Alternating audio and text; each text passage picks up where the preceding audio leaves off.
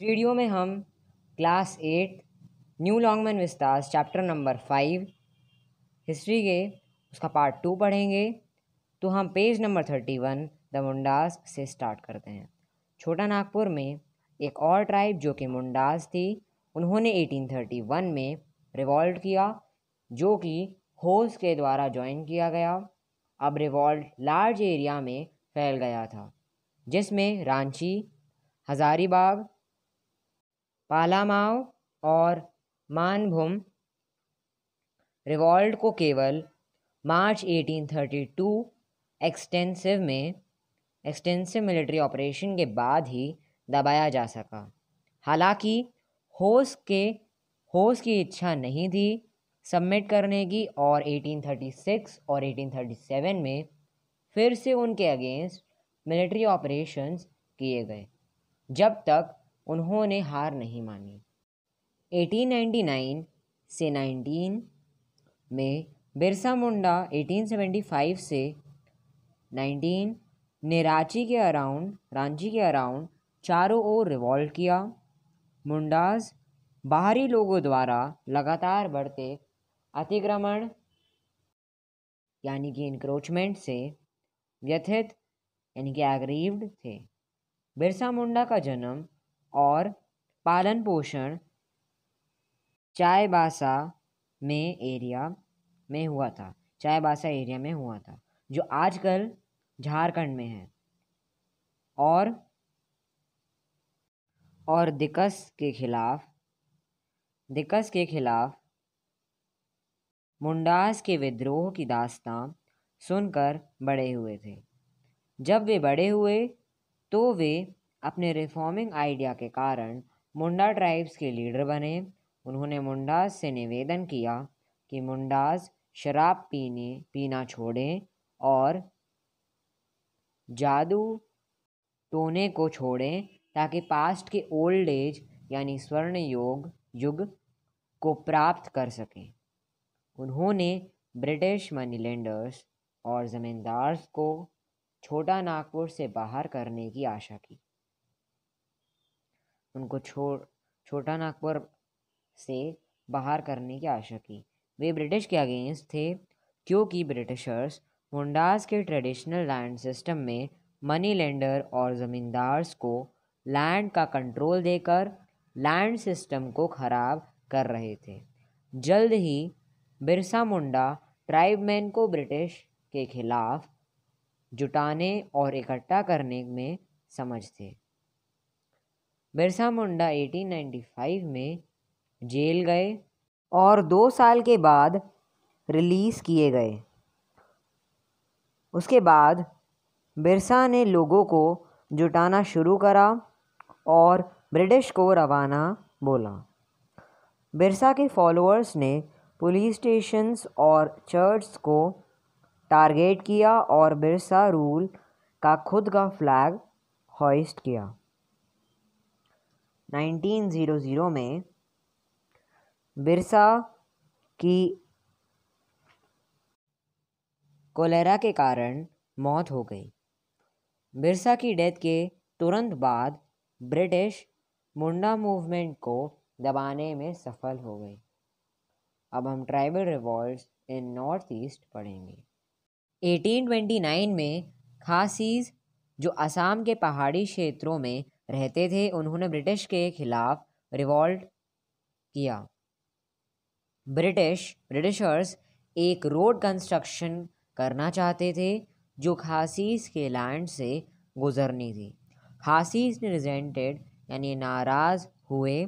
खासीस ने डिसाइड किया कि ब्रिटिश को अब ना सिर्फ़ हिल्स से, बल्कि आसाम के प्लेन से भी बाहर निकाल देंगे।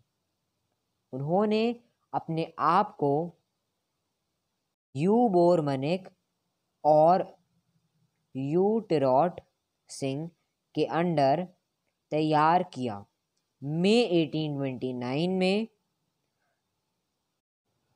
अब एक ट्राइब्स की बात करते हैं। नागाज हैं, जिनका नाम है नागाज इन्होंने 1849 में ब्रिटिश के अगेंस्ट एक रिवॉल्ट किया, जो कि 1850 टू 1851 में सप्रेस, यानी कि दबा दिया गया था। नॉर्थ ईस्ट रीजन में ब्रिटिश रूल में कुछ और पॉपुलर मूवमेंट्स हैं, यानी कि पॉपुलर मूवमेंट्स हुए। जैसे कि 1836 में मिशमिस का रिवॉल्ट 1839 टू 1844 के बीच असम में खामती रेबेलियन 1842 और 1844 में लोशायास का रिवॉल्ट 1860 टू 1862 में जयंतिया हिल्स का का सिंटेंग्स का रिवॉल्ट 1872 टू 1873 में, सफलास का रिवॉल्ट 1882 में, चैचर का कच्चा नागाज की अपराइजिंग और 1904 में मणिपुर में एक वुमेन का वॉर तो ये कुछ रिवॉल्ट्स हुए थे। मेघालय में ब्रिटिश गवर्नमेंट एक स्ट्रैटेजिक रोड बनाना चाहती थी, जो ब्रह्मपुत्र और सुरमा वैली के बीच रोड लिंक बनती, जो कि खासी हिल्स पर कंट्रोल करके ही पॉसिबल था। पर मेघालय की ट्राइब्स ने इसे ट्राइब्स के हैबिटेशन एरिया में ब्रिटिश का इंटरफेरेंस माना। तो ट्राइब्स ने ब्रिटिश गवर्नमेंट के अगेंस्ट रिवॉल्ट कर दिया। यूकाएंग नोंगबा की लीडरशिप में। 1829 टू 1844 और 1849 में लशाल हिल्स और मणिपुर और त्रिपुरा के हिल रीजन के इन्हाबिटेंट कक्कीज ने ब्रिटिश टेरिटरीज पर अटैक किया, पर उन्हें 1850 में सबमिट करना पड़ा। आगे एक टेबल दी हुई है, जिसमें 1765 से 1929 के कुछ ट्राइबल मूवमेंट्स दिए हुए हैं। तो टेबल में दिया हुआ है Chuars 1768 and 1832 Bhils 1818 to 1848 Kolis 1824 to 1848 और बाकी कुछ और दिए हुए हैं। अब आगे इंडिया के दूसरे पार्ट्स में जो रिवॉल्ट हुए हैं, ये देखते हैं।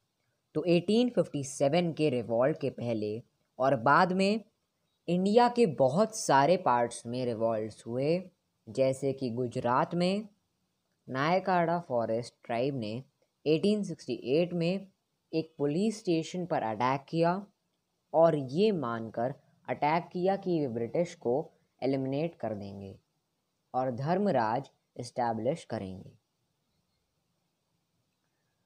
फिर बाद में कोया और खोना ट्राइबल्स ने ओवरलॉर्ड के अगेंस्ट रिवॉल्ट किया। ये ओवरलॉर्ड ब्रिटिश प्रोटेक्शन के अंडर में थे। ओवरलॉर्ड मतलब चीफ या मास्टर। 1879 में मेजर रिवॉल्ट हुआ, जिसमें 5000 square kilo miles, square miles से तो कम का एरिया अफेक्ट नहीं किया होगा। इसे मद्रास इन्फेंट्री, मद्रास रेजिमेंट, यानी कि पैदल सेना, के छः रेजिमेंट्स के असिस्टेंस के साथ नवंबर 1880 में दबाया गया। हालाँकि ये रिवॉल्ट फिर 1886 में उठाया गया और 1913 में राजस्थान में भिल्स भिल राज के इस्टेब्लिशमेंट के लिए लड़े। वही गोदावरी रिवर के Rampa region north guerrilla warfare का विटनेस था। गुरिल्ला वॉरफेयर गुरिल्ला वॉरफेयर का विटनेस था। गुरिल्ला वॉरफेयर इंग्लिश और सेमी ट्राइबल इनहेबिटेंट्स के बीच थी, जो कि अगस्त 1922 से मई 1924 में अलूरी सीता रामा राजू की लीडरशिप में लड़ी गई। अब हम ट्राइबल रिजेंटमेंट पढ़ते हैं, यानी कि नाराज़गी के कॉजेज़ पढ़ेंगे। तो ब्रिटिश रूल में बहुत सारे ट्राइबल रिवॉल्ट्स हुए। ट्राइबल पीपल के प्राइमरी ग्रेवियंस यानी शिकायत लगभग हर एक जगह जगह थी। यही था कि ब्रिटिश या प्लेन के लोगों के द्वारा उनके कल्चरल और इकोनॉमिक लाइव्स में इंटरफेरेंस किया जाना। ब्रिटिश ने ट्राइब्स की सफरिंग्स यानी कष्ट को ना देखकर इंट्रूडर्स यानी घुसपैठियों को सपोर्ट किया। ट्राइब्स ने, ट्राइब्स के कोई भी रिवॉल्ट सफल नहीं रहे, पर ट्राइब्स ने निश्चित रूप से फैक्ट को उजागर कर दिया कि British colonial rule, biased rule और रेगुलेशंस, यानी कि नियमों और कानूनों का समर्थन को सपोर्ट करता था और एक्सप्लॉयटेशन और थ्रीव्ड, थ्राइव्ड शोषण और संपन्न पर बेस था। यहाँ हमारा चैप्टर ख़त्म होता है।